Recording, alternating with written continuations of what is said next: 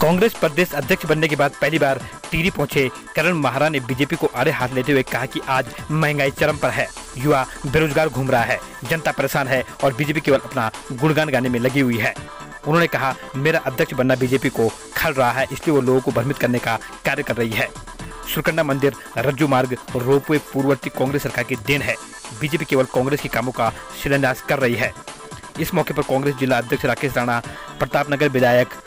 विक्रम नेगी, शांति भट्ट, ज्योति भट्ट, कुलदीप पवार देवेंद्र नौडियाल, दर्शनी रावत, शक्ति जोशी, बीना सजवान, सरताज, मुशर्रफ अली, लक्ष्मी भट्ट समेत काफ़ी संख्या में कार्यकर्ता उपस्थित रहे। मेरा आपके माध्यम से उनसे प्रश्न है, जब पिछले चार घटनाएँ घटी तब वो कहाँ थे? और आज जब जंगल ज़मीन की बात होनी है, जब हक हकूक की बात होनी है, जब हमारे पलायन की बात होनी है, बेरोजगारी की बात होनी है कि हमारे लोगों को रोज़गार कैसे मिलेगा, पलायन कैसे रुकेगा, हमारे जल जंगल ज़मीन जो चल रहे हैं, उसकी व्यवस्था कैसे होगी, हॉर्टिकल्चर को हम कैसे ठीक करेंगे, अपने टूरिज़्म सेक्टर को हम कैसे ठीक करेंगे, अपने तीर्थान, तीर्थाटन को हम कैसे आगे बढ़ाएँगे, कैसे हम उत्तराखंड का नाम रोशन करेंगे, इन बाईस का जो चुनाव है,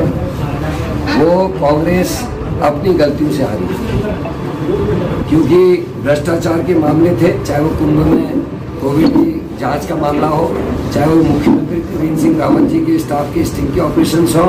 चाहे वो जिला विकास प्राधिकरण का मामला हो जिसमें लोग परेशान थे चाहे वो पुलिस की पेरीग्रेड का मामला हो, चाहे कर्मचारियों का ओपीएस का मामला हो, सब तरफ़ से ऐसा लग रहा था कि जनता परेशान है, कर्मचारी परेशान है, महँगाई से, भ्रष्टाचार से परेशान है, बेरोजगारी से परेशान है, लेकिन उसके बावजूद भी हम जीत नहीं हासिल कर सके तो उसमें कहीं ना कहीं हमारे संगठन का तो मैं नहीं कहता, लेकिन हमारे नेतृत्व का ज़रूर उसमें दोष है और संगठन का सही तरीके से उपयोग हम नहीं कर सके, यही कारण रहा कि हम